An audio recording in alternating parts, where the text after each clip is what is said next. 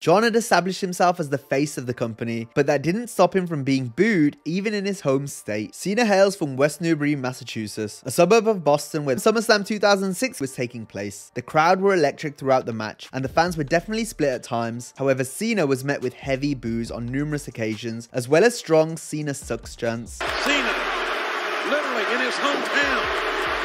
Big Jack Dawn admonishing Cena. The audience then turned their attention to Edge's girlfriend by chanting Lita sucks. Lita would soon get involved in the match by handing Edge brass knuckles. She then stopped Edge from receiving an FU by taking one herself. This distracted the referee, allowing Edge to use the brass knucks on Cena, and it was this that ensured the rated R superstar retained the WWE Championship. My goal was always to get John cheered. We thought maybe Boston would be an easy sell, and it turns out it wasn't.